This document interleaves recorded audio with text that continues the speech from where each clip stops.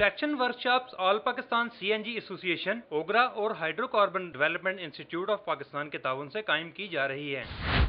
यास अब्दुल्ला प्राचा ने चाइना चौक पर race course CNG station पर पहली वर्कशॉप का इफ्तः किया।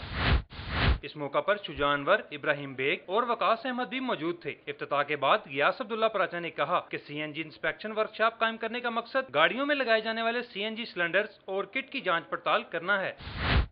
पहले मरहले में कमर्शियल गाड़ियों के सिलेंडर और किट्स चेक की जाएँगी। चेकिंग के बाद गाड़ी की स्क्रीन पर एक फिटनेस स्टिकर आवेदन किया जाएगा।